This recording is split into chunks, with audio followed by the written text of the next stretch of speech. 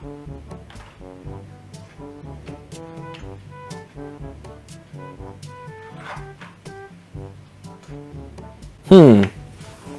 banyakkan keyboard nih.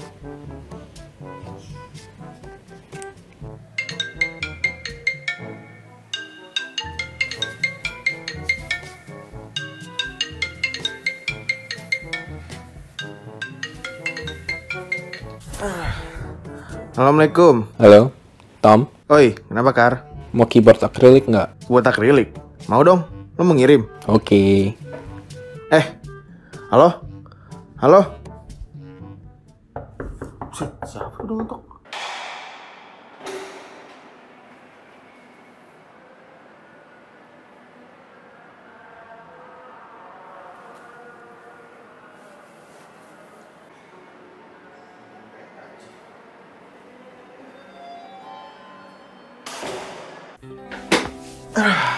Halo semuanya, nama gue Tommy dan pada video kali ini gue akan rakit custom keyboard yang berbahan dasar full akrilik. Jadi maksud gue full akrilik ini adalah badan dari keyboard ini akan menggunakan parts-parts yang pure pakai akrilik. Jadi case dan plate-nya itu terbuat dari akrilik, tapi PCB, switch, stabilizers, dan keycapsnya tetap pakai bahan dasar biasa. Jadi sebelumnya sedikit tentang case ini. Case ini adalah custom sandwich mount acrylic case.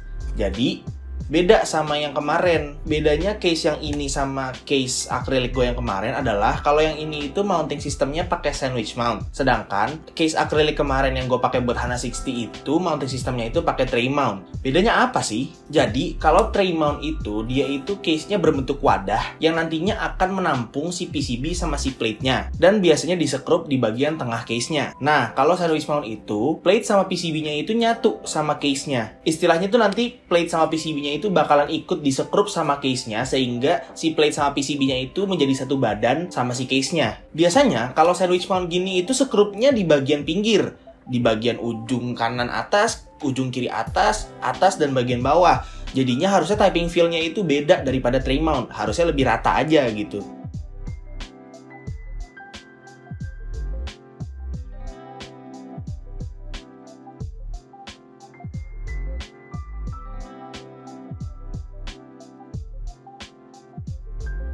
Untuk proses rakitnya, gue nggak jauh-jauh.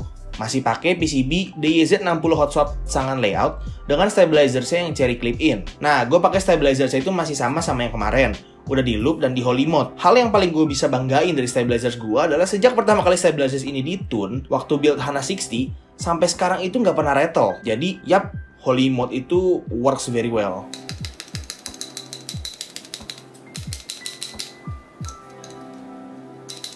Nah, tapi switchnya pakai apa ya? Perasaan soalnya dari kemarin switchnya itu-itu aja, dah nggak ada switch baru. Lah, itu siapa yang ketok-ketok?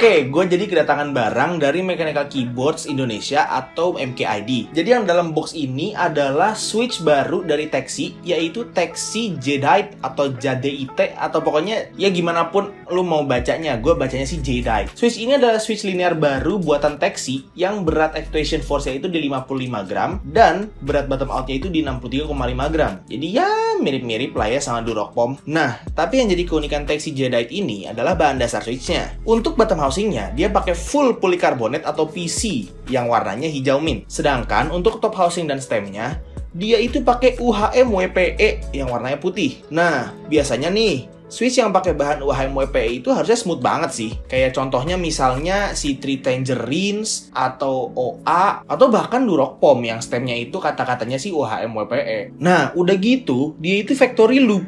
Jadi, sepertinya kalau udah UHM WPE dan factory loop, gue udah nggak usah loop ulang lagi gitu loh. Secara kan nih, lagi pandemi gini, alangkah baiknya nggak buang-buang duit cuma buat lendir doang gitu loh. Nah, buat kalian yang penasaran dan mau nyobain sendiri kayak apa sih Texi Jadite ini, langsung aja ke link yang ada di deskripsi yang udah gua taruh. Jadi link itu bakalan langsung ngedirect kalian ke Tokopedia-nya Mechanical Keyboards Indonesia. Jadi, langsung aja check it out. Oh iya, plate akrilik ini kan jatuhnya keras banget ya. Jadi untuk masukin switch itu harus ada pakai tenaga sedikit gitu. Karena dia cuttingnya itu kadang-kadang suka nggak rata. Jadi ada yang kekecilan, ada yang pas, ada yang kegedean bahkan. Jadi ya yang namanya cutting akrilik nggak akan seperfect cutting-cutting plate yang lain gitu. Jadi di sini gua pasang switch itu di bagian atas, bawah dan tengah dulu untuk menjadi baseline pas gua pasang ke PCB-nya nanti. Jadi sebelum dipasang ke PCB itu switch-nya udah gua pasang dulu di plate-nya.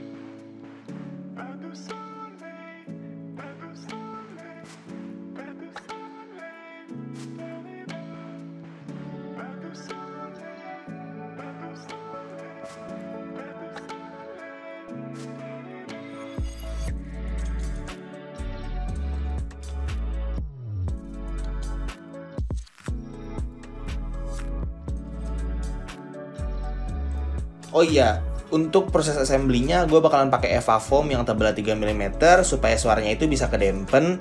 Dan untuk underglow-nya sebenarnya gue nggak butuh-butuh amat karena ya dia case-nya clear jadinya ya nggak apa-apa ketutupan underglow-nya. Yang penting suaranya itu bisa kedempen dan nggak terlalu hollow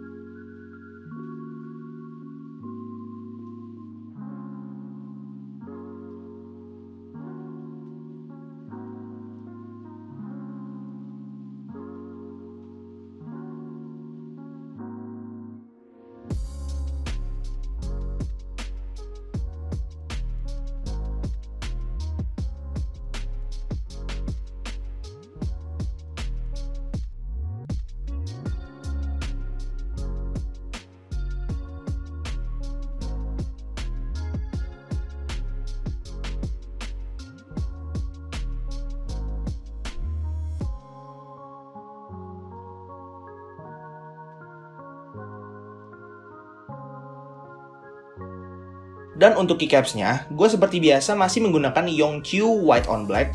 Karena ya gue cuma punya keycaps ini doang gitu. Jadi ya nikmatin aja lah. Nah sekarang kan keyboardnya udah jadi nih. Gue tahu lu pada semua lagi pada nungguin sound testnya. Nah gue ada sedikit disclaimer nih. Gue kan sekarang lagi nggak di setup rumah gue kan seperti yang jelas kalian lihat ini. Jadi untuk ngerecordnya gue itu pakai ini gue pakai iPhone XR gue untuk nge-record soundnya. Dan mejanya juga beda dari meja setup gue jadi suaranya bakal agak beda lah ya. Jadi maklumin aja. Jadi tanpa menunggu lama-lama lagi ini dia sound testnya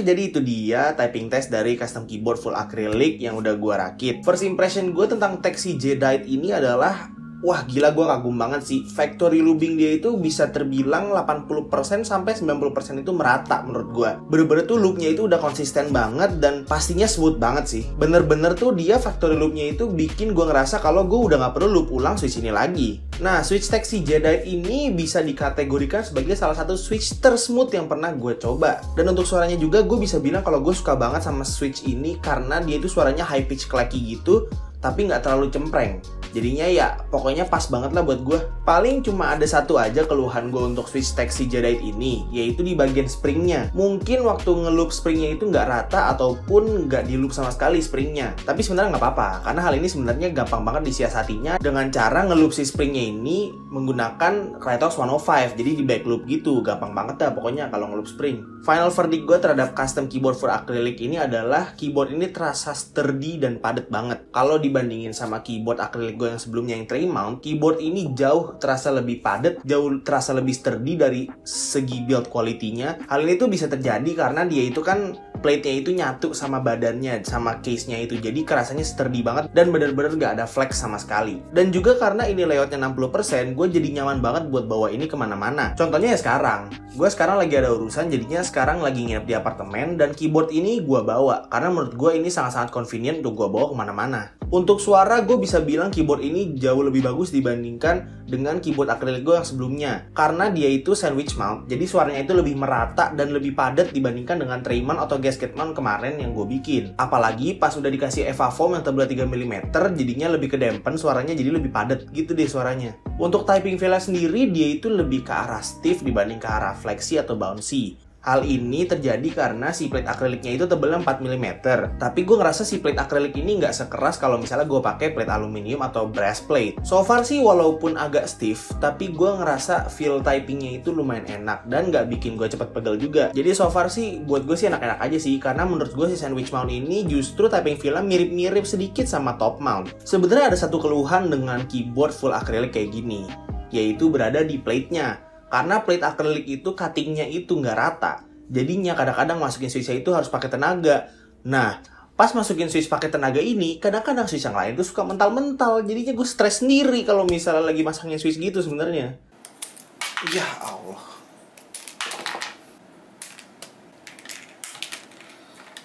Aduh, gue benci banget sama plate akrilik sumpah. Tapi gue dapat simpulkan buat kalian yang pengen cobain rakit custom keyboard dan budgetnya itu nggak terlalu mahal, gue sangat bisa merekomendasikan keyboard full acrylic kayak gini sih. Gue juga mau ngucapin terima kasih yang sebanyak-banyaknya kepada Mechanical Keyboards Indonesia yang sudah berbaik hati untuk mengirimkan Switch Taxi Jadite ini ke gue untuk build hari ini. Buat kalian yang mencari Switch, keycaps, atau hal-hal yang berbau mechanical keyboards, bisa langsung aja cek link yang udah gue taruh di deskripsi yang akan ngedirect kalian langsung ke Tokopedia-nya Mechanical Keyboards Indonesia. Nggak lupa juga gue mau berterima kasih kepada Yokifs atau Oscar yang udah mau ngasih case acrylic sandwich mountnya ke gue. Buat kalian yang pengen beli case yang sama kayak punya gue sekarang ini, silahkan minta aja langsung ke Yokips. Nggak ding, bercanda gue.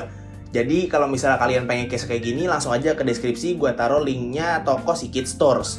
Jadi Kit Stores ini adalah salah satu vendor akrilik untuk case-case custom keyboard juga. Jadi langsung aja check it out ya. Oke itu aja untuk video hari ini. Semoga video ini dapat bermanfaat untuk kalian. Kalau misalnya kalian suka video ini silahkan like dan kalau misalnya kalian nggak suka silahkan dislike dan jangan lupa tinggalkan kritik atau saran di comment section di bawah. Kalau misalnya ada pertanyaan yang belum kejawab di video ini silahkan langsung tanyain aja di comment section di bawah dan jangan lupa juga subscribe untuk dapetin update-update terbaru di channel gue. Follow juga Instagram gue karena di situ gue bakalan update tentang tentang personal atau daily life gue. Itu aja untuk video hari ini. It's been your boy Tommy, and as always, peace out.